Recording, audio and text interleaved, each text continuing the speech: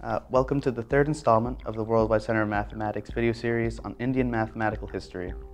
Today we'll be talking about Bhaskara II, who is considered by many to be medieval India's greatest mathematician.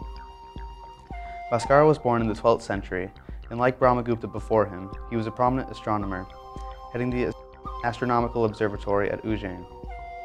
His contributions to mathematics were often done for the purpose of mapping out uh, the paths of planets. Bhaskara's most notable uh, discoveries were in the field of calculus. Hundreds of years before Newton and Leibniz pioneered calculus in the Western world, Bhaskara examined instantaneous rates of change of planetary motion. Uh, he discovered that the paths of the planets followed the sine function and figured out that the instantaneous rate of change um, of the planet's motion was equal to the cosine of time. And he didn't realize it at the time, but he had stumbled upon the derivative of sine of t, which was cosine of t. He also wrote down an early version of Rolle's theorem, stating that if there existed a function f such that f of a equaled f of b equaled zero, then there would exist um, f prime of x equal to zero, um, where x lay in between uh, a and b. Uh, also contributed to algebra. He looked at quadratic indeterminate equations, specifically equations of the form uh, a times x squared plus b equal to c times y squared, uh, where a, b, and c are all constants.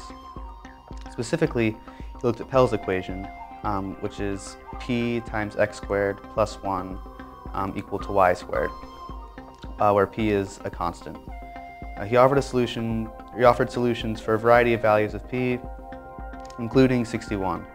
Uh, hundreds of years later, uh, Fermat uh, posed this challenge, posed a challenge using this equation uh, with p valued at 61. And it took mathematicians at the time uh, years to solve it before, uh, um, before it was eventually solved by Brouncker in 1658.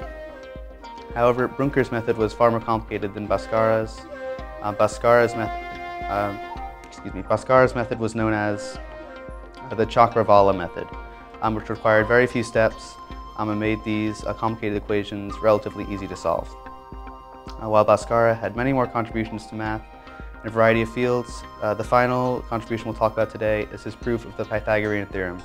So what we're going to do now is prove that um, Pythagorean's theorem um, works using uh, Bhaskara's method. Uh, so as you know, uh, the Pythagorean theorem states that um, a squared plus b squared is equal to c squared for a right triangle with legs a and b and hypotenuse c. Um, so now we're just going to prove that the way uh, Bhaskara did that. Uh, so we have here um, is a square um, with side c um, and inscribed into the square are four right triangles um, with sides or legs A and B. Um, and so what we're going to do now is um, prove that a squared plus b squared is equal to c squared using just this square. we're going to do that um, by finding the area of the square. Um, so there are two ways of doing this. Um, the first way is pretty easy. Um, it's just the area formula of a square. the sides of the square are c, and so the first way to find the area is c squared. And now uh, for the second method, we look at what's inside the square itself. Uh, so we have um, the four triangles, and in these triangles we know um, all the sides. So that's one part of the area. Um, so we'll just write down what the area of the four triangles equal to.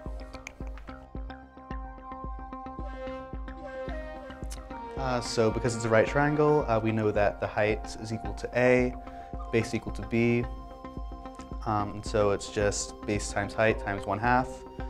Um, so that's 1 half AB. And then we account for the fact that there are four triangles, so the area of all the triangles ends up equaling uh, 2AB. Then we figured out this. Uh, we need to figure out the area of um, the quadrilateral inside. Um, so as you can see from the diagram, um, uh, these are all right angles um, because they're all on lines and we've proven that these are right triangles. Uh, so we can say this is um, at least a rectangle. Uh, but then we can observe that um, all of the sides are equal to uh, B, which is this long side, uh, minus uh, A, which is the shorter side. Um, so because there are four right angles, uh, it's quadrilateral, and all the sides are the same length, um, we can solve the area as if it's a square. And so the sides, as we said, um, is equal to uh, B minus A, and so now we'll just uh, square that and see what we get.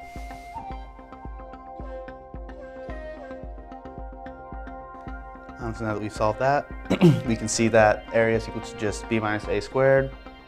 Uh, simple foiling it through, we see that the area is equal to uh, b squared minus 2ab plus a squared. And so now we have uh, the area of the square uh, where we just look at the side c and we look at the things in the inside. And so now we can set uh, these two things equal to each other. And so doing that, uh, we take the uh, method one, uh, c squared, we set that equal to area of the triangles, which is equal to 2ab, uh, plus the area of this inner square, which is equal to b squared minus 2ab plus a squared. Um, and you can see that uh, the area of the triangles cancels out with the area of the squares, the two ab's cancel out. And the final answer is that or the final result is that c squared is equal to a squared plus b squared. Uh, thank you so much for watching our series on Indian mathematical history. Be sure to subscribe to the YouTube channel and check out other installments of the series. Thank you.